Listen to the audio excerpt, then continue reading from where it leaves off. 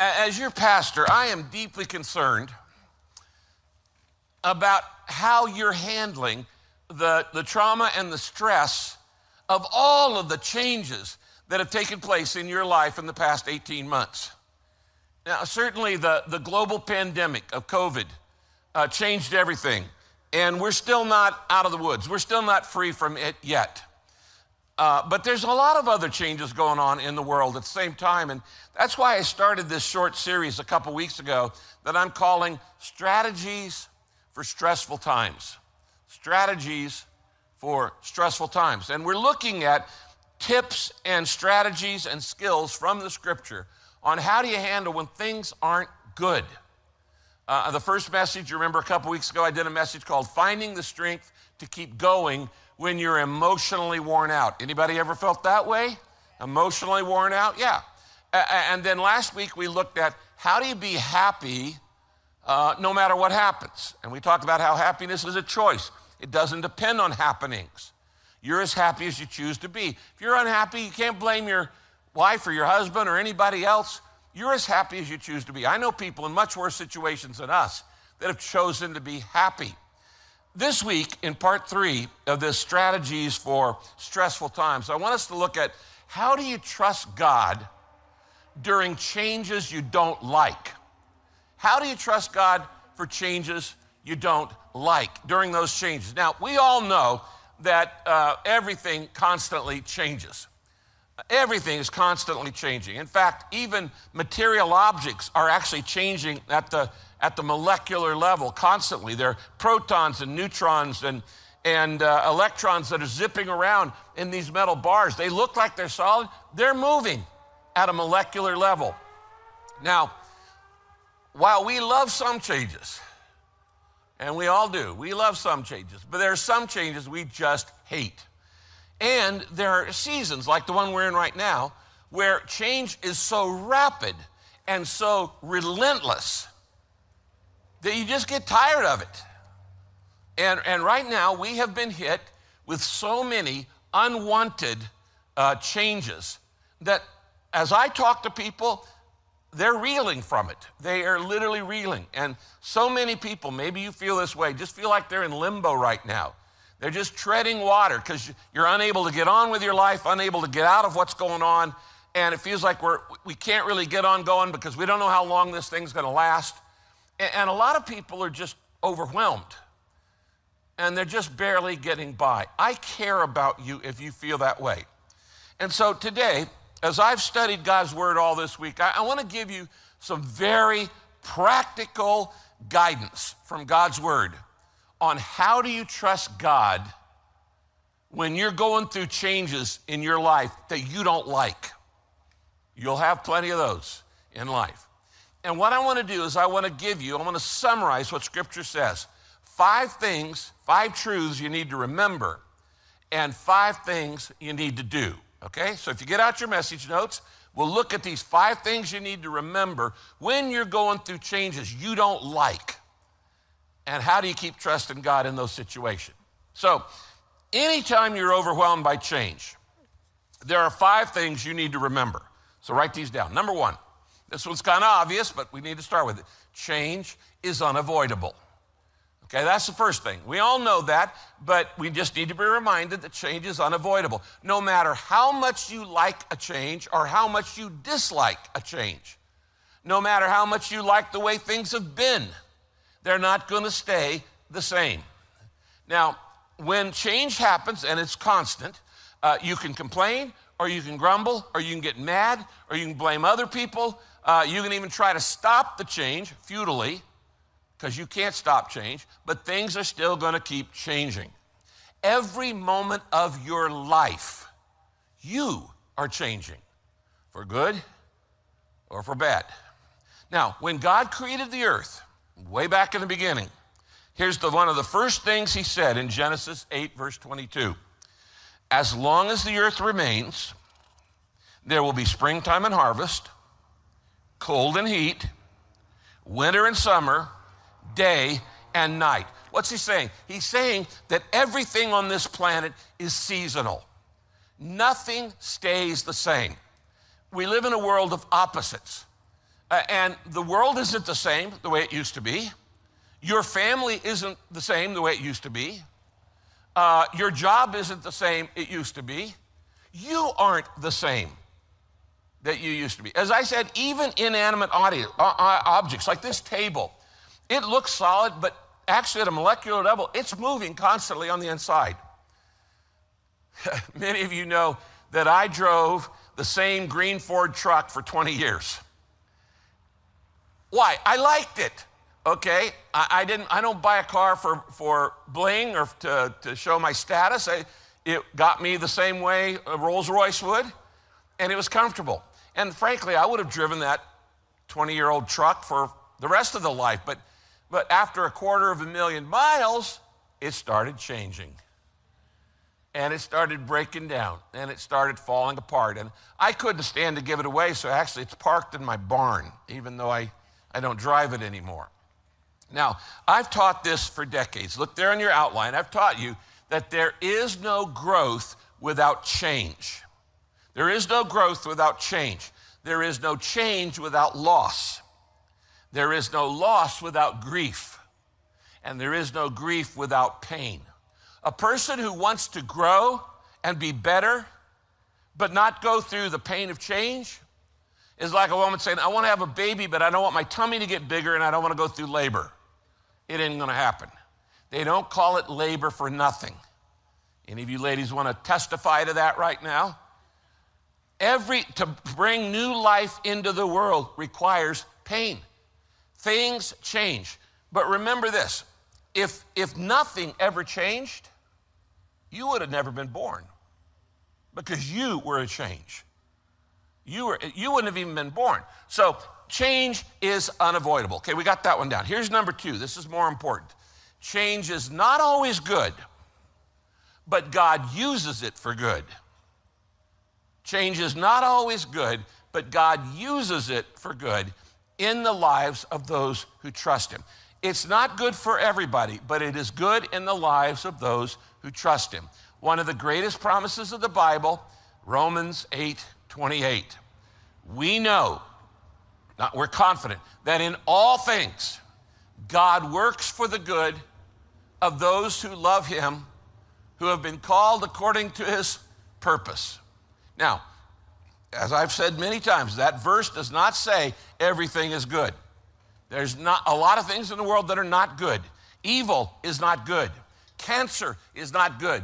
Rape, molestation is not good. War, prejudice is not good. A lot of bad things in the world.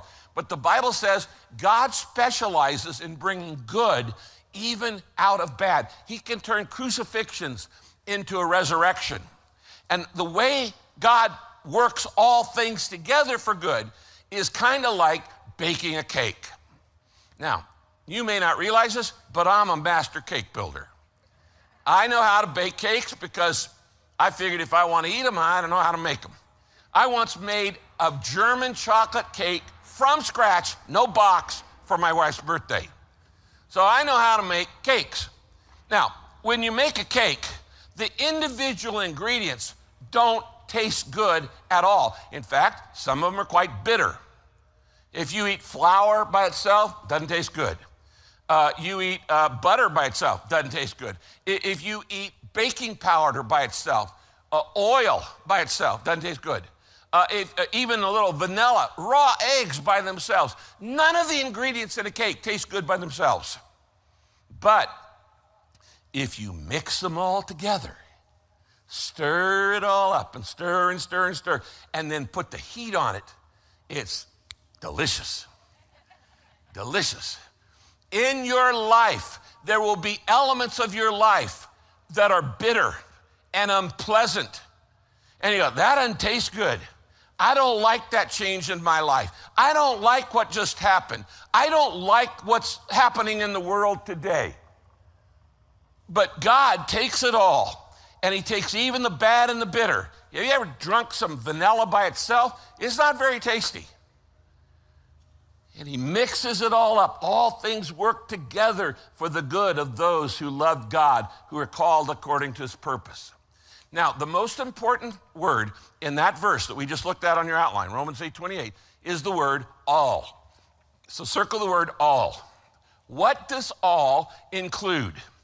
In all things, God works for the good of those who love him. That, mean, that means all. It literally means all. It means every circumstance you face, every choice you make, every consequence you feel, and every change you experience, including all of the changes we've just had in the last 18 months, all work together for the good of those who love God. You know, some people act as if God was caught off guard by COVID 19. Like God goes, Wow, I didn't see that coming. I didn't imagine that world global uh, pandemic ever happening, and I had no idea what it was going to do to all my churches. Man, am I in a mess? God is not sweating this pandemic. The church has outlasted everything for 2,000 years every dictator, every pandemic, every fire, every flood, every revolution, every critic is still here, and none of those things are.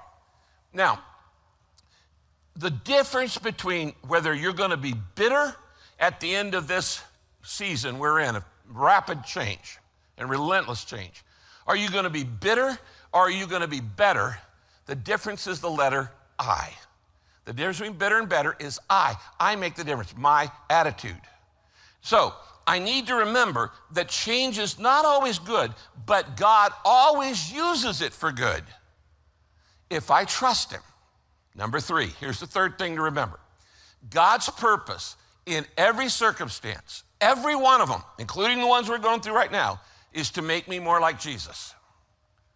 God's purpose in every change in my life is to make me more like Jesus. Now, the promise of Romans 8:28 is a wonderful promise, but it doesn't really make sense until you read the next verse, Romans 8:29. So let me read you those two verses together from the New Living Translation. Here's what it says We know, in other words, we're not guessing, we know that God causes everything, even the bad stuff, even the bad changes. God causes everything to work together for the good of everybody? No, for the good of those who love Him and are called to His purpose for them. For God knew in advance who would come to him. He already knew before you decided to accept Christ that you were going to accept him. He knew in advance who would come to him, and he chose them to circle this become like his son. So that his son, Jesus, would be the firstborn in his family with many brothers and sisters. God doesn't just want you in his family, he wants you to develop the family characteristics of a daughter of God or a son of God, a child of God, like father, like son, like father, like daughter. God says, I want you to grow up. And who's the model for maturity? Not you or me, Jesus Christ. And God says, My number one goal in your life is to make you like Jesus Christ. His number one goal is not to make you happy. His number one goal is not to make you comfortable. His number one goal is to not make your life pleasant. Those things are the result of becoming like Christ. This is not heaven. In heaven, there's no sorrow, suffering, sadness, sickness. But on earth, everything's broken. And so, what's the, what are we doing here? This is a school in character. For the 60 or 80 or 90 or at the most 100 years you get on this planet, you're in school for character.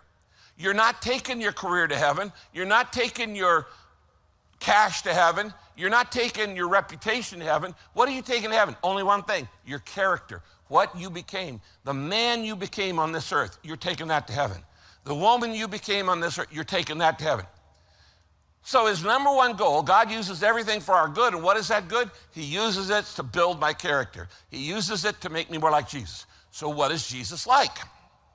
The best picture of Jesus in the Bible is Galatians chapter 2, verses 23 and 24, 22 and 23. They're called the fruit of the Spirit, nine character qualities.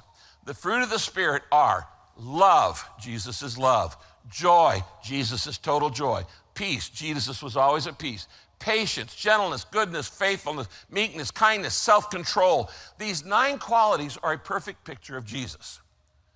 Now, How does God produce that kind of fruit in you? How does God make you more loving?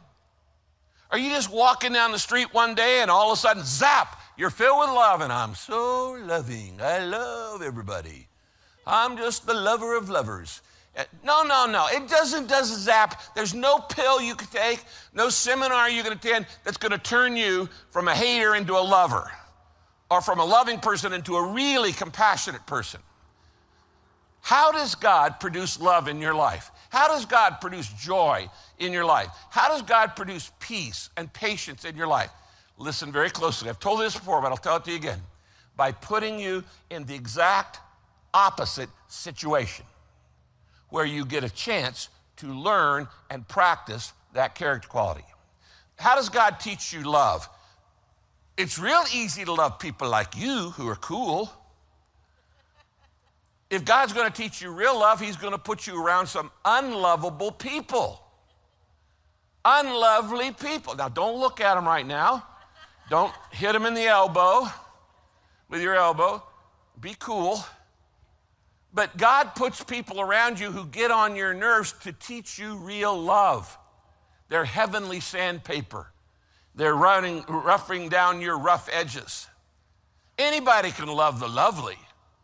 How do you learn to love the unlovely the way Jesus loves you, in spite of all your hangups and hurts and stuff? How about joy? How does God teach you real joy? In the middle of suffering, in the middle of grief, Joy is not happiness. Anybody can be happy when you're out, you know, at a bonfire at the beach in the sun setting. Man, it doesn't get any better than this. Anybody can be happy fly fishing in the mountains. If God's going to teach you real joy, it'll be in the middle when your heart's breaking. How about peace? How does God teach you peace? It's easy to be peaceful when everything's going your way. He'll allow chaos in your life, conflict in your life to teach you inner peace, the peace that passes understanding, which says, There's no reason I should be peaceful now, but I am. Patience. How does God teach you patience? The Department of Motor Vehicles. Waiting in line, traffic jams, delayed doctor's appointments, and on. Anytime you have to wait, God is teaching you the quality of patience to make you more like Jesus. I remember a number of years ago when I was going through major problems and I said, Lord, I need patience. And instead uh, of getting better, they got worse. They got worse. And I said, Lord, I need more, patience. And, the pa- and my problems got worse. And that, Lord, I need more patience. It got worse. Finally, after six months, I realized I'm a lot more patient than when I started out. it's easy to be patient, everything goes your way. Have you thought about maybe the last 18 months God has been trying to teach you love, for people who are unlovely, joy in the middle of crisis, peace in the middle of chaos and uncertainty and transition when you feel like you're in limbo, patience with people who, who won't be, won't do what you want them to do, and on and on and on. This is a school we're in right now.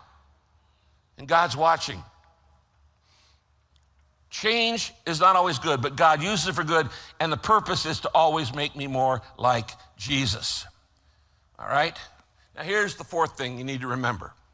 Write this down. God can even can use even human error and sin. God can use even human error and sin. I'm talking about when you are the innocent victim of somebody else's bad decision. My family isn't what it used to be because my husband broke it up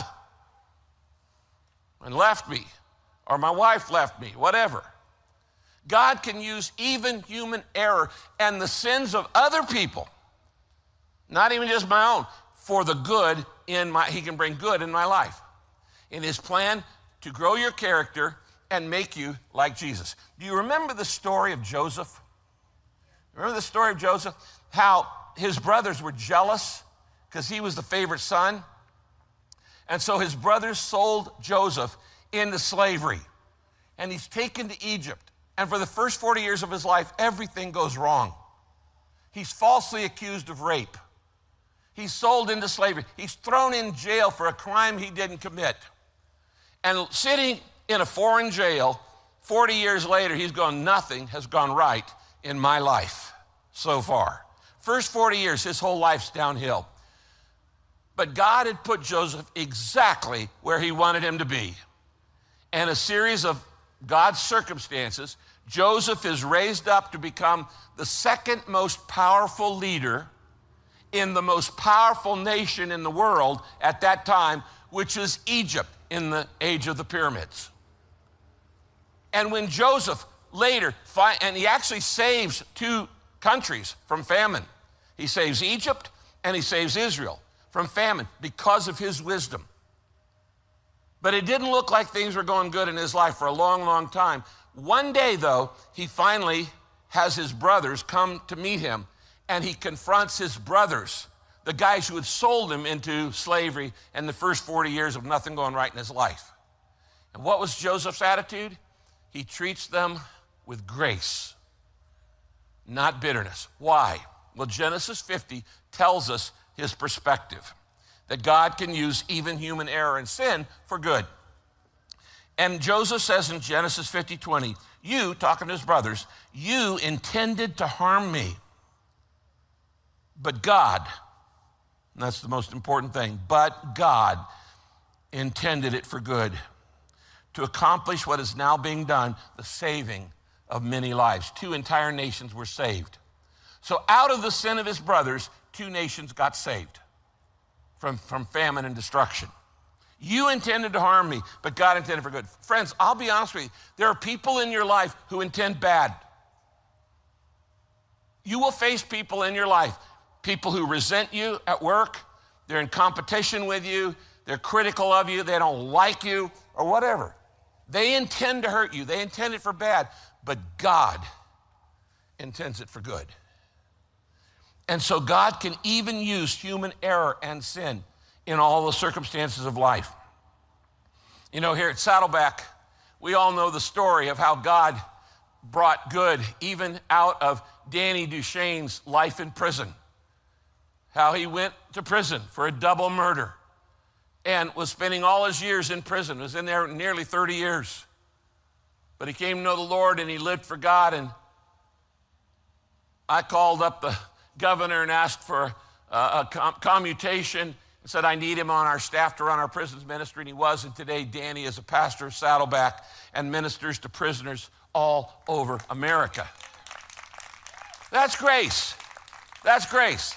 And that's the kind of church we are. It doesn't matter what your background is. I don't care what you've done, how badly you've done it, or who you did it with, or how long you did it. What matters is the direction of your feet today.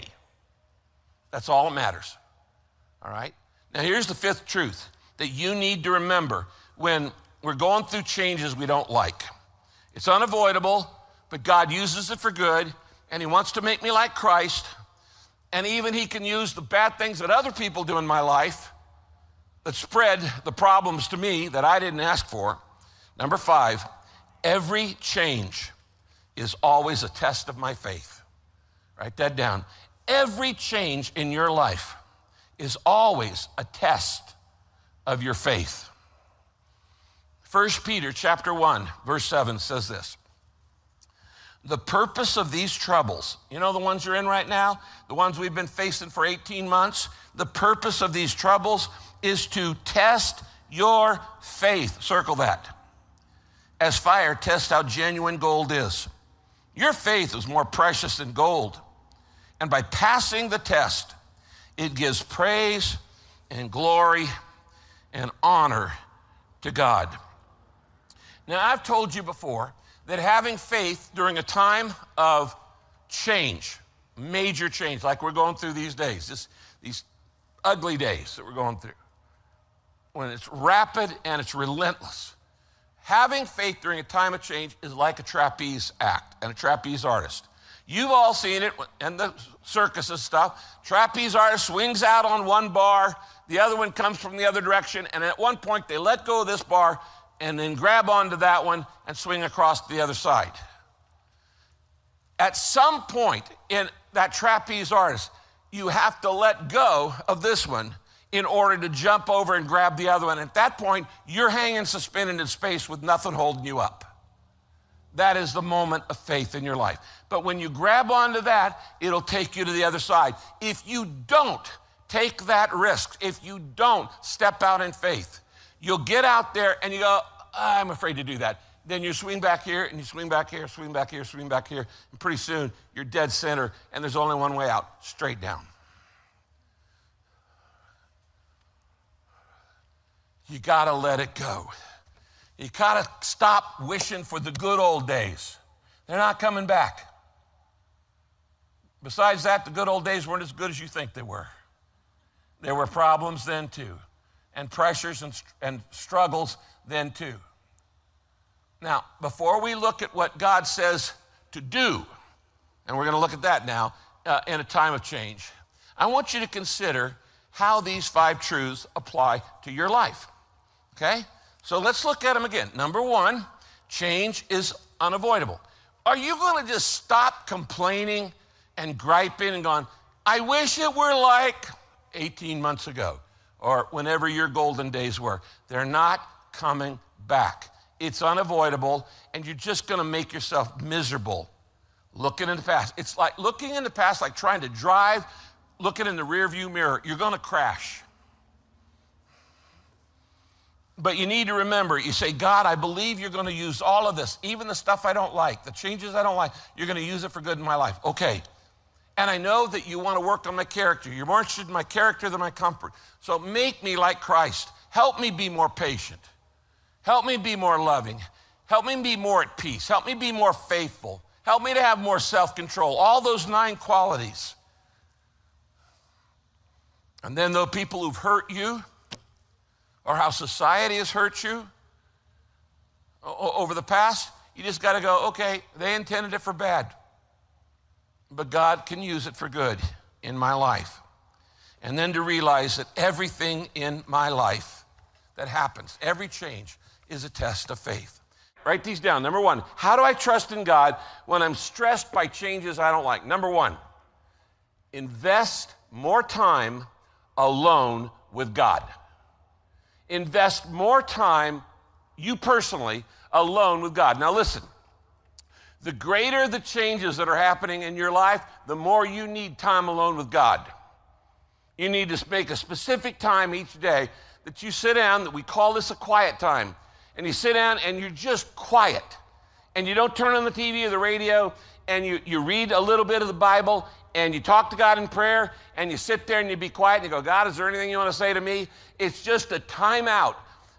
Your quiet time during times of rapid change is the greatest stabilizer in your life. It'll give you stability. It's also the greatest re energizer in your life when you're worn out. It'll give you more energy. Now, have you noticed over the last 18 months, that you don't have as much energy as you did before the pandemic started. You don't. Nobody here has the same level of energy as you had two years ago. Why? Because that's what rapid and chronic stress and change and trauma does to you. It saps your energy, it drains your strength. So if you get up in the morning and, and you go, I have a good night's sleep, and two hours into the day, you're going, man, I'm worn out. Welcome to the club. Welcome to the human race. That's normal, it's natural when you've been under 18 months of chronic change, prolonged stress. And so, fatigue, the fatigue that you're feeling these days, it's natural, it's normal under prolonged stress, and you're just trying to get by. And in many ways, you're just treading water. And this has nothing to do with your age. Because whether you're old or you're young, both young and old are feeling this way drained, un- destabilized, and out of energy. What's the antidote? Isaiah chapter 40 in the Bible. There on your outline, verses 28 and following. Don't you know? Don't you know that the Lord is the everlasting God and He created everything on this earth and in the universe too? That would have taken a lot of energy, but it says this and he never grows tired or weary. That's why when you spend time with the God who never gets tired or weary, you get re energized and you get restabilized. He never grows tired or weary. You're tired and weary. Instead, He gives strength to those who are weary. That's you. And worn out. That's you. And He gives power to the weak. That's you. Even young people become exhausted and want to give up. But those who trust and wait on the Lord will find new strength, flying high like eagles. They'll run and not grow weary, and they'll keep going and they'll not faint. Now, here's the point. I'll just say it real quick, we'll move on. When you're stressed by major change, don't seek a quick fix in a drink or a drug or TV or sex or you name it, whatever you do. Don't look for an escape. Don't look for a shortcut. And certainly don't try to fight a change that you can't possibly control. Instead, seek the Lord and do it on a daily basis. Invest more time. The more change you have in your life, the more you need quiet time every day alone with God. If that's all you get from this weekend, it'll help. Now, when you're having that quiet time with the Lord, you do the second thing. Number two, ask God to help me see his perspective. Write that down. Ask God to help me see his perspective.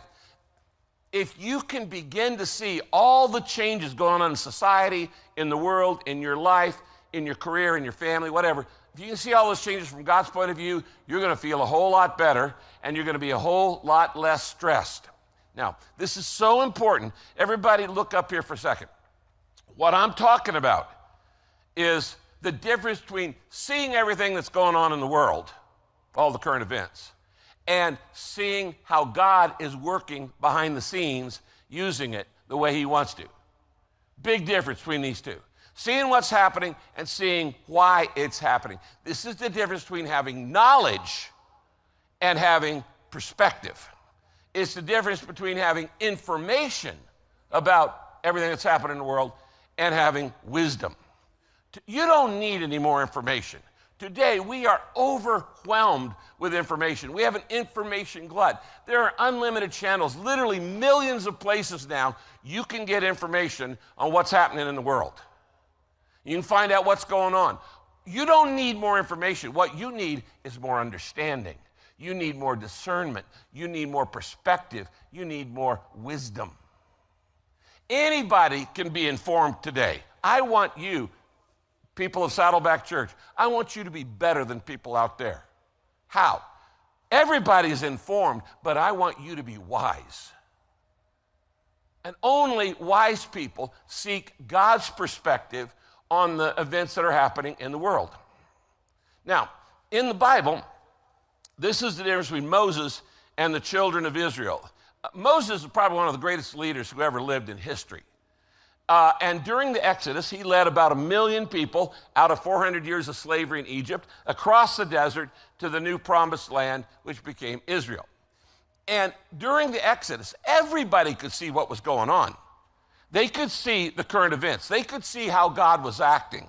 They could see, like those 10 plagues uh, in, in Israel, when the river turns red like blood, and they could see the parting of the Red Sea, and they could see when they're in the middle of the desert and they need water, and Moses strikes a rock and a waterfall comes out and saves everybody. And they saw all of what was happening. They could see what's going on. Anybody can see what's going on in the world right now. But only Moses understood God's reasons, God's perspective. God, only Moses had understanding and discernment. Only Moses knew the ways of God. Look at this next verse. Psalm 103, verse 7 says this. God let the people of Israel see his mighty actions. That's all the current events. But he revealed his ways to Moses. Now, friends, as your pastor who loves you, I want you, more than anything else, I want you to understand the ways of God.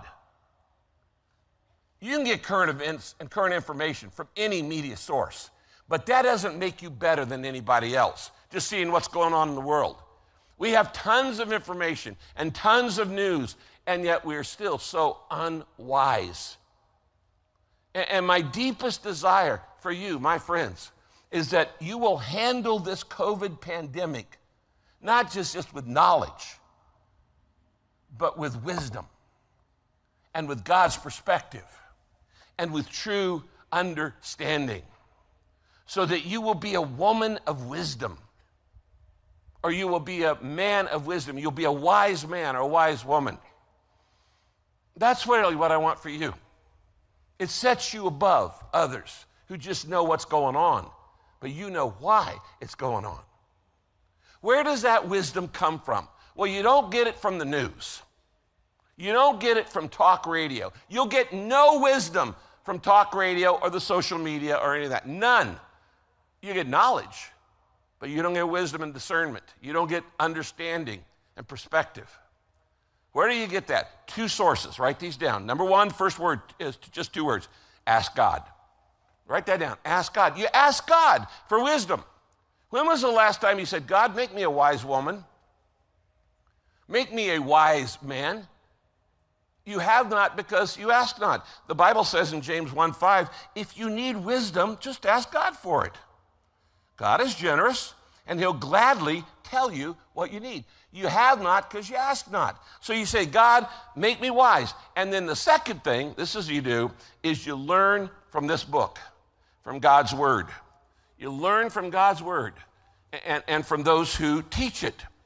Many of you maybe have never seen this verse in the Bible. It's from the book of Second Peter, chapter 1, verse 19. It says this here on the screen. We have greater confidence in the message of the prophets. Now, hang on there. What's the message of the prophets?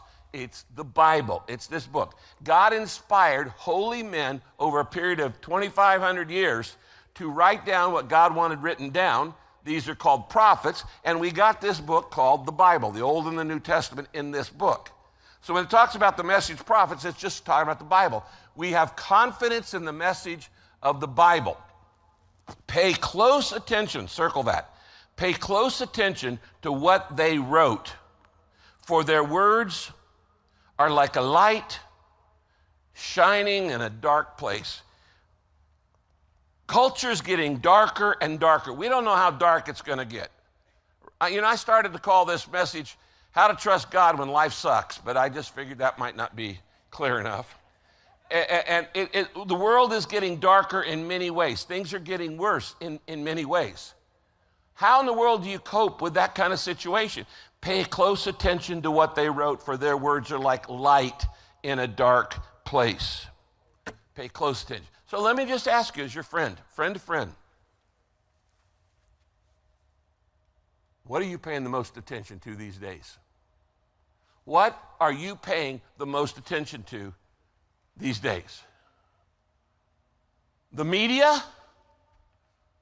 social media, talk radio, or God's Word. This will always tell you the truth. You can't rely on anything else. Now, here's the third thing you do. Number three, you, you invest time alone with God every day. You ask God, help me see life from your perspective. Number three, instead of asking, why is this happening, ask, what do you want me to learn? Very important question. We don't know how long the pandemic's going to last. It keeps flaring back up again with different variants. Don't worry about the circumstances, worry about your character. Focus on your character, not the changes in your circumstance that you can't change. Instead of asking, why is this happening, ask God, what do you want me to learn? Look at this verse up here on the screen. In the book of Romans, chapter 5, verse 3 and 4, it says this We can rejoice even in our troubles and struggles. Troubles and struggles, troubles and struggles. That sound familiar? Yeah, the last 18 months have been troubles and struggles, troubles and struggles. We can rejoice even in our troubles and struggles because we know they help us learn endurance. They teach us endurance. And endurance develops strength of character, and character creates hope. Now, Uh, leave that verse on the screen for just a minute because I want you to notice two things about this verse. First, it says, life is a struggle. Everybody agree with that one? Life's tough. Life is not easy. Life is a struggle. That's one of the first things you learn. We shouldn't expect any less. This is not heaven. In heaven, there's no sorrow, sadness, sickness, suffering. On earth, everything's broken. Life is a struggle, and you are in a school of character. You're, and God is testing you and strengthening your character, and there's stuff He wants you to learn. And you need to just start asking, What do you want me to learn through this? Through this change in my life. I don't like this change. What do you want me to learn from it? Life's a struggle. By the way, have you ever wondered why the struggle in life is so relentless? You ever thought about that? Why is life so hard? Why is it such a struggle? Here's the reason because God wants to change us, and we don't want to change. That's the struggle. God wants to change us, and we don't want to change. And so it gets a whole lot harder than it should be. The second thing on that verse, I want you to notice we can rejoice even in our troubles, know that it creates endurance, endurance creates character, and character creates hope. If you develop character, you become a man of character, you become a woman of character, you're going to have more hope. You're going to be more hopeful when you look at society, when you look at the future, when you look at not optimism, that's different, that's a whole other sermon, but you will be more hopeful. If you develop character, you're going to be full of hope. If you just complain about how life is tough, you're going to be full of doubt and unhappiness. Wise, mature people are full of hope. Wise, mature people are full of hope. Unwise, immature people are scared and bitter. And they're all around you. And they're angry at everybody else in the world, too. So you got to decide do I want to be wise and mature and have hope, or do I want to be unwise and immature and be angry and bitter and doubtful? You guys, I love you. And as a, because I love you, I want all of us to eventually get to Paul, St. Paul's level of spiritual maturity. I'm not there yet. You're not there yet. What is Paul's level of spiritual maturity? The next verse Philippians chapter 4, verses 12 and 13. I've learned, circle the word learn, because this is something you learn. Remember, we're talking about ask God, what do you want me to learn? Not why is all this stuff happening? I've learned what do you want me to learn? This secret. So that anyone, anywhere, at any time, I'm content. Anywhere, anytime, I'm content. Whether I'm full or hungry, or whether I have too much or too little, I have the strength to face all conditions by the power of Christ that Christ gives me. I've learned this. This is not natural. You don't, you're not naturally content. I'm not naturally a contented person. How do you learn contentment when everything changes relentless and, and, and rapid? You got to learn it. You got to learn it and say, God, help me to learn what you want me to learn. Let me ask you an honest question. What are you learning about yourself these days? I'm not talking about the world. What are you learning about the world? In the last 18 months, what have you learned about you? About you. What do you know about your strengths that you didn't know? What do you know about your weaknesses that you didn't know? What have you learned about you? I want you to write this sentence down. Everybody, please write this down. Every situation is an education. Every situation is an education. Everything that happens to you in life, every change, you'll either get better or bitter. You're going to grow or you're not going to grow. Every situation is an education. There is nothing that happens in your life that you can't learn from. Doesn't matter if it's a big thing, big change, or little thing, little change. Every situation is an education. All right, number four. Fourth thing you need to do to trust God when, you, when everything's just blown out of, you know, out of the saddle. Focus on what never changes. This is the fourth practical suggestion from God's Word. Focus on what never changes. Because there are many things in life that are never, never, never, never going to change. And when you're going through a period of great change, you want to let those unchangeable things be your anchor. What's anchoring you right now? For the last 18 months, what's been your anchor? Somebody goes, I don't have an anchor. That's why you're drifting around in the storm. What anchors you are the things that never change in life, the unchangeables. Now, I could give you a whole list of stuff that's never going to change, but let me just give you three. God's love for you is never going to change. God's truth, the truth of God's word, is never going to change. If He says it's right, it'll always be right. If He says it's wrong, it'll always be wrong. You don't take a vote on it. And God's plan and purpose for your life will never change. Nothing can change that. No, other people can't change it. The devil can't change it. Society can't change God's plan and purpose for your life. So you anchor your life in the things that are never going to change. Look at these three verses Jeremiah 31 3. I have loved you with an everlasting love. Nothing's ever going to change that. God will never, never, never stop loving you. You can't make God stop loving you. You can try, but you'll fail because His love isn't based on what you do, it's based on who He is. Isaiah 40, verse 8, the word of God shall stand forever. Stop paying attention to stuff that changes. Opinions change, the truth never changes. Pay more attention to this. Psalm 33 11. His plans endure forever and his purposes last eternally. Now, friends, I want to tell you something somebody who loves you, and you can bank on this. God, no matter what's going on in the world, in society, and culture, everywhere today, you can bank on this.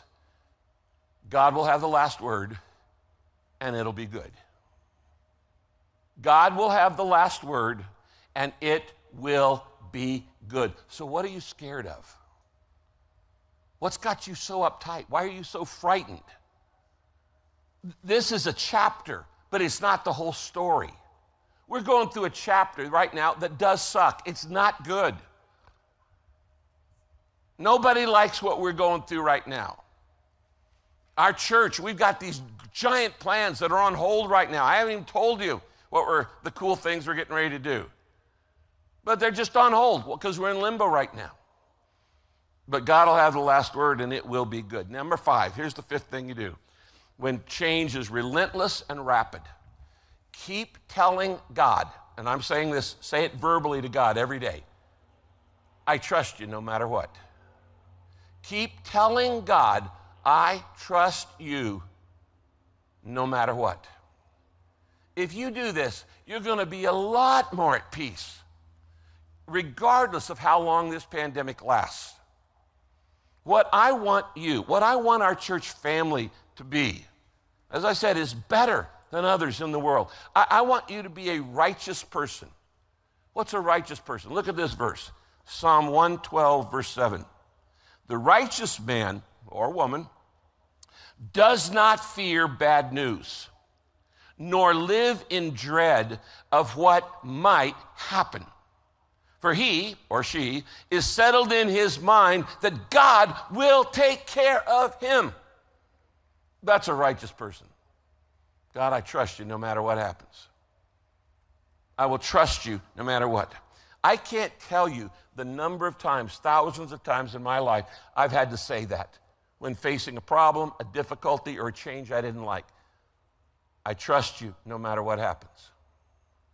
I remember when Kay was going through cancer treatments. And I thought I was losing and I thought, I'm going to lose the love of my, of my life. And I had to say over and over, Father, I trust you no matter what happens. And I will serve you no matter what happens, even if I lose my wife.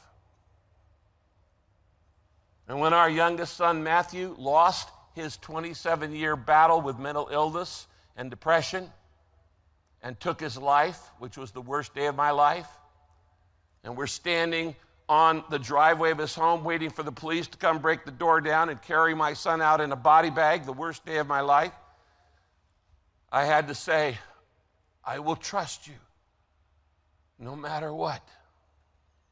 Doesn't mean I understand it, it just means I will trust you no matter what.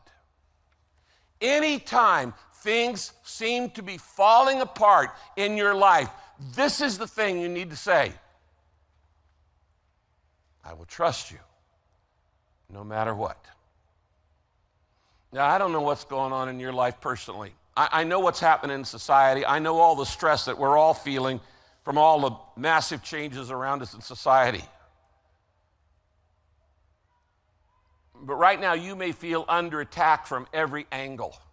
And so I end with Psalm 27, verse 3, that says this Even if a whole army surrounds me, I will not be afraid. And even if enemies attack me on all sides, I will still trust God.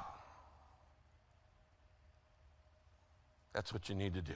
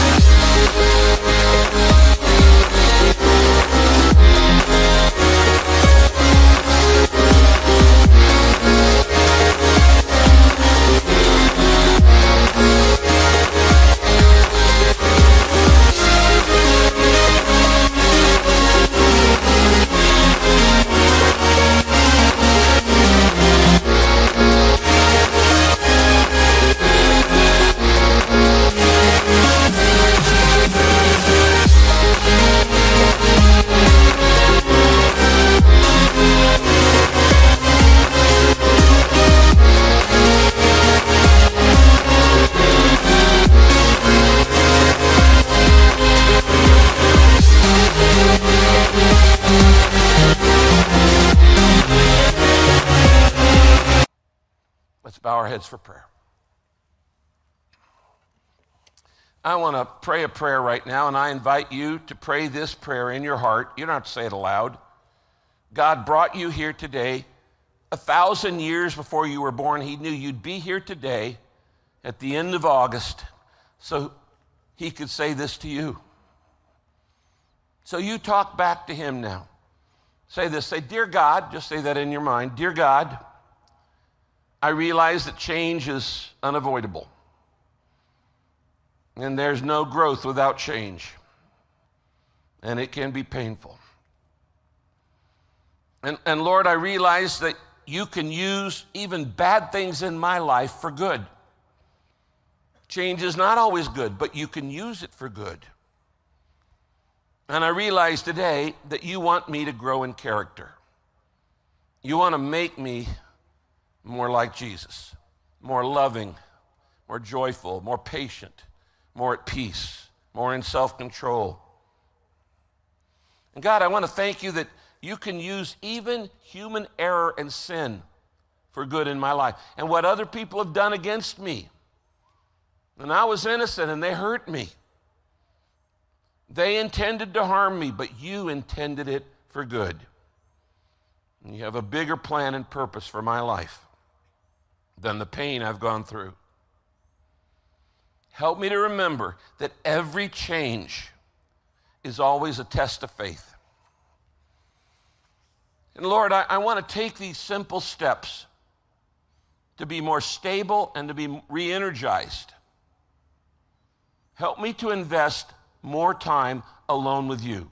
I want to commit to spending time alone with you every day read a little bit of your word, talk to you in prayer, listen, be quiet, say, What do you want me to do?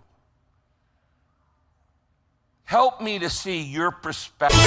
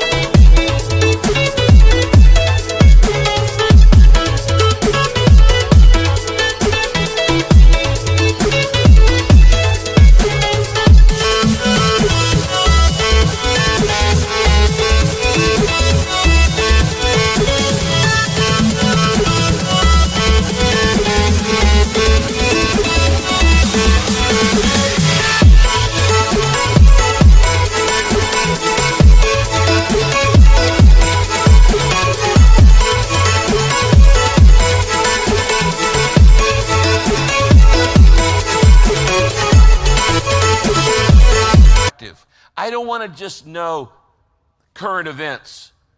I want to know the ways of God. So I'm asking for wisdom. You said just ask for it. I'm asking, make me a wise person. And help me to remember that instead of going, why is all this stuff happening? To instead ask, what do you want me to learn? I want to learn, like Paul, to be content in every situation. Help me to focus on what never changes. Thank you that you'll never stop loving me. Thank you that your word will always tell me the truth about life and myself. Thank you that your plans and purpose for my life cannot be changed by anybody else. Lord, from here on out, and no matter how long this pandemic lasts, I'm going to keep saying to you, I trust you no matter what. And even if I feel like I'm being attacked from every side, I will still trust God. If you've never initially said to Jesus Christ, I trust you, say that. Jesus Christ, come into my life. I want to trust you. I just don't want to know about you. I want to have a relationship with you. So I humbly ask you to be the manager of my life. In your name I pray. Amen.